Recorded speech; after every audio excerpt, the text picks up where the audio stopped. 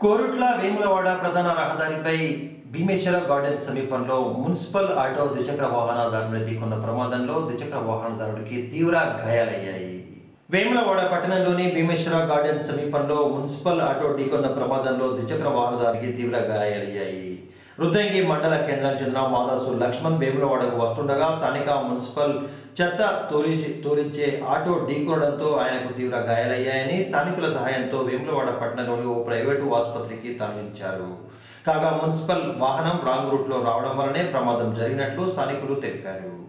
ఘటనపై పోలీసులు కేసు నమోదు చేసుకుని దర్యాప్తు చేస్తున్నారు.